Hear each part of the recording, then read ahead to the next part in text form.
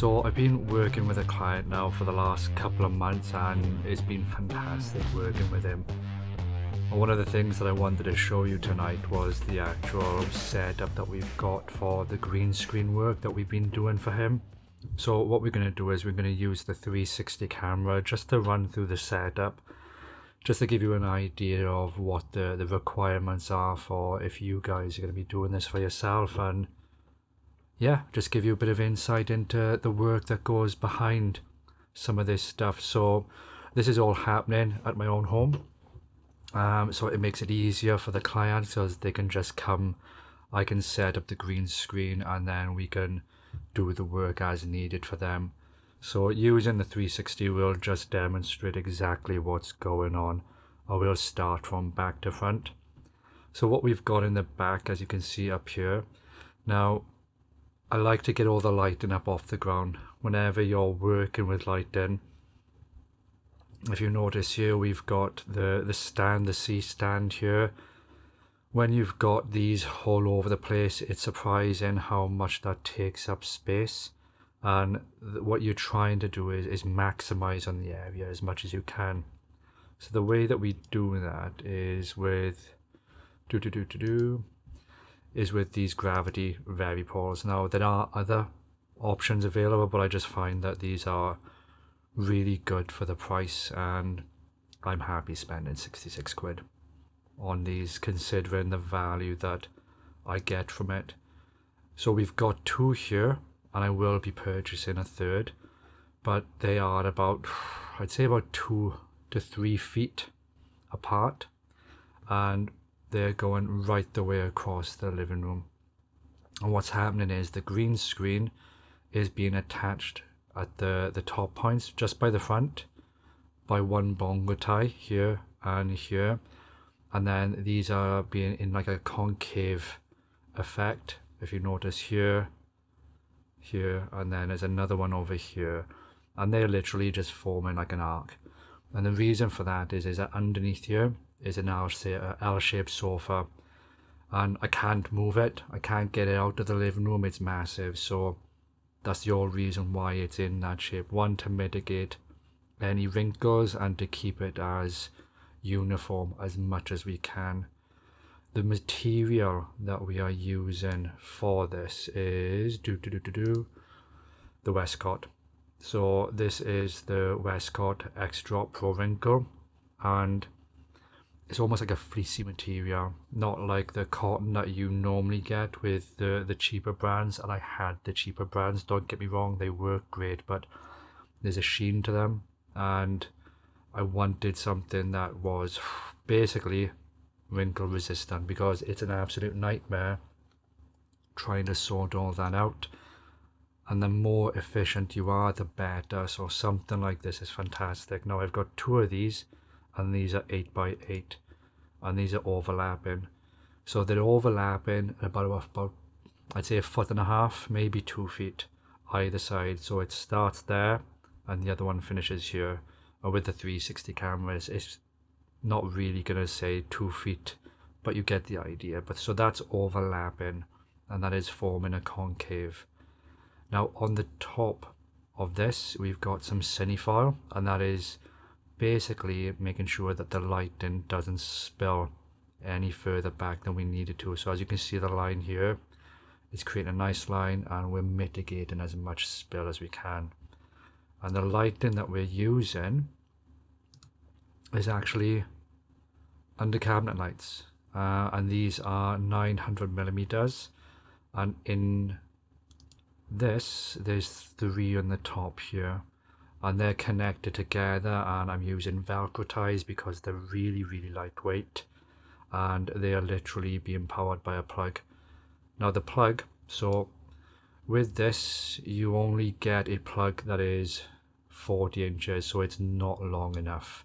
So the way that I resolved it is that I cut this off. I bought a terminal pack to connect an extension cord that you can buy in any hardware store.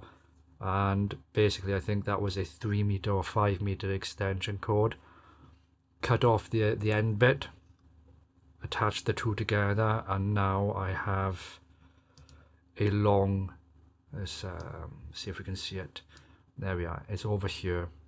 And that is being plugged in and again that's being held in by a bongo tie. I'll show you those now. And that is literally going all the way down and we've got another one here. So in that pack there's four.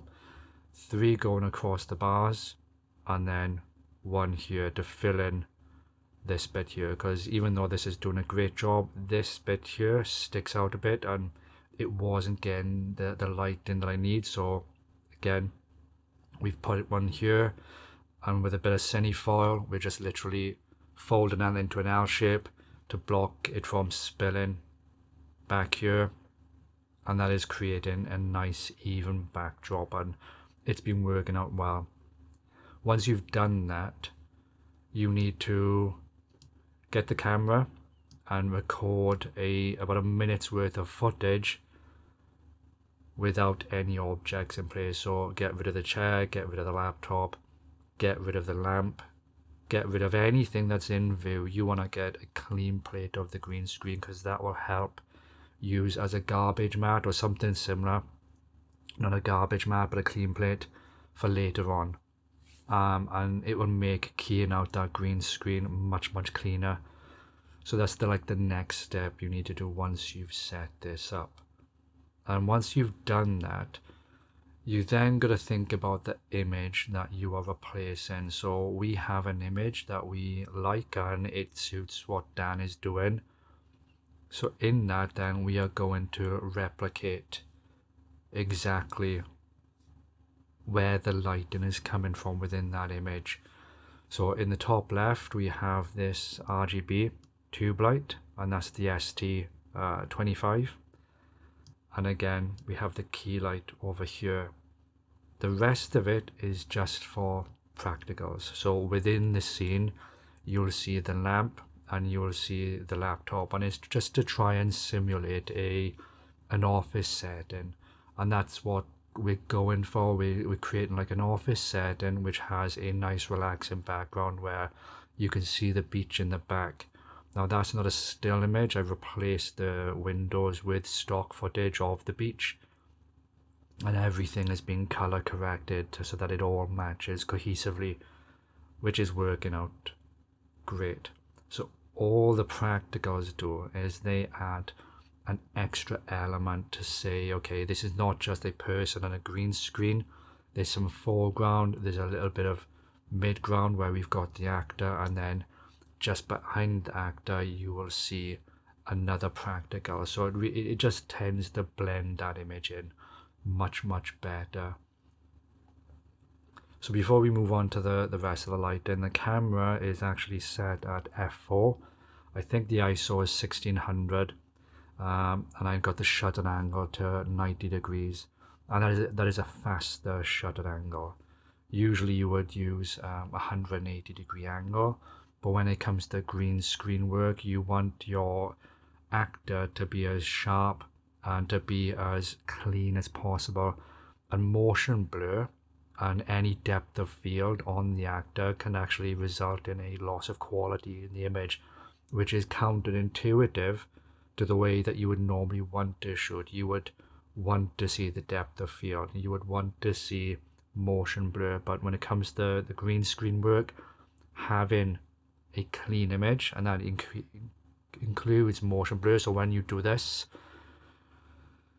when there is motion blur you're going to have a hard time keying out the color behind because there's part of it is skin because of the motion blur and then you have the green cast at the back and it, it can be a bit of a nightmare to to deal with. So that's why we have the camera settings that way. And then going back then we've got the distance. So the distance is important. You don't want your actor to be here because what's going to happen is the light that is spilling or is eh, you know exposing the green screen that's going to bounce. Light bounces and the, the closer the actor is the more that green is going to spill on the actor and that's what you don't want because if you've seen on like tiktok and linkedin uh, not linkedin i'm thinking of linkedin but um, tiktok and zoom and the background, the edges, they just look crap. I'm just gonna say it, it it's getting better, but right now when I see it, I think it looks garbage. And that's not what you want from a professional setup, or at least a clean setup. You want it to be as seamless as possible so that you don't look at it and go, well, that's on a green screen and it's, it's detracting from the core message of what the person is trying to say. Distance is important, and this is about 8 to 10 feet from the subject, even though it doesn't look it here on the, the camera. I've got a laser measuring tool and I've measured the back of this seat to here and it's about 8 to 10 feet. My memory's crap, it might even be 8.5, might be 9. But it's enough distance. Anything after 5 feet and you should be okay. But um, I would definitely test it and do a bit of trial and error with that. So once you've got the distance sorted, you then need to light up the actor. And this is where we have this key light here. Um, the reason I have gone with a rectangle softbox is mainly down to space constraints because one it provides a nice big wide source so that it provides great wrap and it keeps the image soft. It's not too it doesn't have too much you know depth. So that means I can get this C stand over the desk bed and I can get the light closer to the actor providing that it doesn't get in with the shot of the, the camera and keep that relatively as soft as I can. Um, it does come with a grid but I haven't used it uh, for this one because I, I wanted to provide a bit more softer lighting and a bit more wrap. And I wasn't worried about the light bouncing off the back because if anything any extra light will probably just help with filling in down by here anyway. So it's, it's serving as a, a bonus. In here there's a practical and that is the Aputure B7C this is the small light bulb. Um, light and they're fantastic. I, I love those. They're really good for controlling practicals. I've got two of those and they're working out great. Now, the rest of it then is we've got the actors sitting down and they are reading off the teleprompter. And the whole reason why there's a cloth over this is because the teleprompter, or this particular teleprompter, which is the Desview, has a slight gap when it touches the lens and where it actually connects. So it doesn't connect there, it connects underneath. I've got it on rail lens. If I don't have anything, and any light escapes or gets into it, it can actually reflect off the screen that's in there and it can cause problems with haze in the screen or making it look like there's a little rainbow, like a little arc. So be mindful of that if you're using a teleprompter. And then it's just the control then, and Dan's doing all the controlling. Um, and we've used this setup three times now. The first time that Dan did it, um, he couldn't get on with the teleprompter. He soon got into it, but the second and third time he was like a pro. Um, and he, I was actually gutted because in secretly inside my head I was going, how many times is he gonna? Is it gonna be four or five times today? And he only had a misstep, one misstep, and I was just like, it because I lost the with myself. But ultimately, I was super proud because he nailed it. And literally within 15 minutes of Dan turning up, obviously we had a conversation, coffee, laugh. I think here we were talking about Keanu Reeves. The actual shoot then, he got it done within 15 20 minutes, and that it was just fantastic. And then, last but not least, is that we've got this big 5 in 1 reflector uh, negative film, which is being held up by a clamp lamp stand, uh, clamp light stand, not lamp stand. And all that is doing is that it is just mitigating any white walls. So if you can see over here, where we did the podcast later, this room has cream walls, door, so any light is going to bounce off that. Um, and I was just trying to avoid color cast for the main uh, YouTube video so that's why we have this 5 in 1 reflector with the black side just making sure that we're controlling that light and that we're providing a bit more contrast on the client's face because that was naturally where um, the lighting would be dark within the image. Um, and like I said, all we did was just try to replicate everything that is within that image. And that's really important. So when you're selecting a reference image, always take into account does it fit with the theme and have a look at the lighting. If the lighting is coming from the right hand side or the left hand side, then you want to make sure that your key light mimics that because you don't want it on opposite sides and then you have a background and it just looks completely mismatched. And then what we did in post then is that we matched everything. We matched the background to the foreground and all these lights helped because we applied additional effects that allowed the light to wrap around. So the light from the actual image was able to wrap around on the shoulder.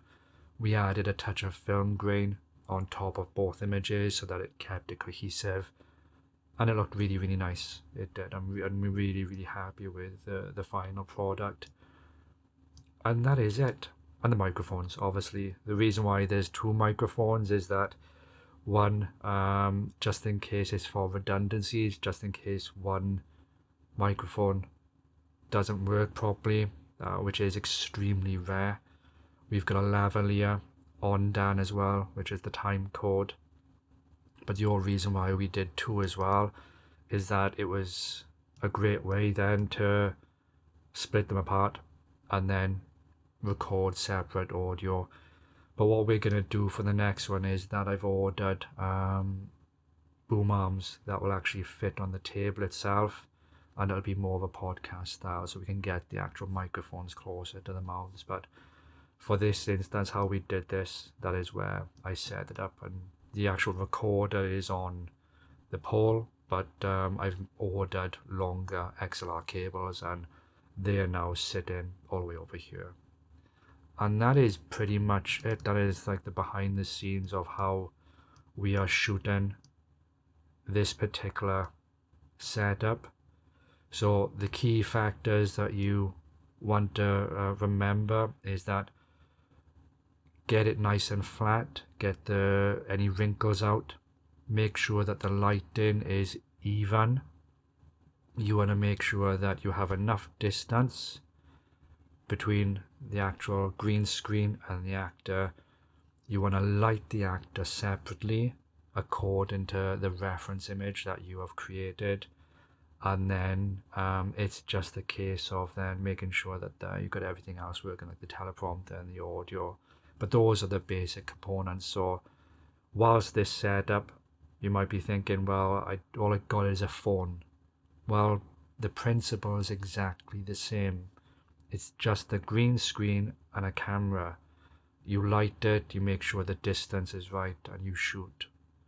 And then you edit out the, the actual green screen. So you can do this with a phone, you can do this with a cheaper light, you can do this with a cheaper green screen. The principles are exactly the same. All we're doing is demonstrating what would happen if you scaled this up a bit. And then the, the production sets and studios which completely everything is green. And you can walk around and I'm not there yet but that would be something really good to, to work towards.